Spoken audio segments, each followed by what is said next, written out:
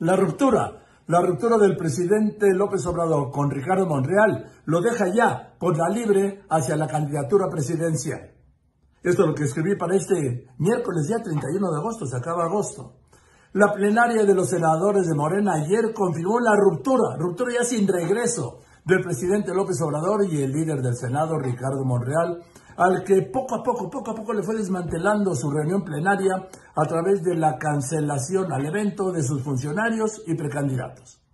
El programa de la plenaria, aún la víspera, era el más ambicioso. Por primera vez lo apunté aquí, por primera vez participarían en una reunión partidista los jefes de las Fuerzas Armadas, el general Crescencio Sandoval y el almirante Rafael Ojeda, además del jefe de la Guardia Nacional, el también general Luis Rodríguez Bucio, y la titular de Seguridad y Protección Ciudadana, Rosa Isela Rodríguez. Pero por la mañana, ayer por la mañana se corrigió la orden del día y ya no aparecía el secretario de Marina. Luego tampoco aparecía el secretario de la Defensa Nacional, ni el jefe de la Guardia Nacional. De los precandidatos desde antes, Adán Augusto López Hernández le había dicho a Monreal que no podría acudir a inaugurar su plenaria, estaría fuera de México por un asunto personal. Marcelo Obrar, que no sé si no le dijeron o no se enteró, sí asistió. Y Claudia Sema no fue requerida. El presidente de Morena, Mario Delgado, quien ha tenido choques con Monreal, se sumó a la instrucción presidencial. Canceló.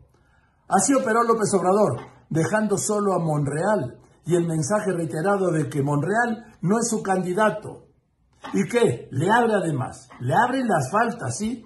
La puerta y el camino para irse aún más por la libre en la ruta que ni Adán Augusto, ni Claudia, ni Marcelo pueden hoy recorrer por estar en la primera línea de gobierno del presidente López Obrador y de su sucesión. El otro mensaje, el otro mensaje sería la imposición de un disidente, de un duro, de un contrario Monreal en la presidencia de la mesa directiva, lo que anoche parecía haber ganado el propio Monreal con el senador Alejandro Armenta. Pero lo votarán hoy al mediodía, cuando todavía hay tiempo y espacio para el descabello.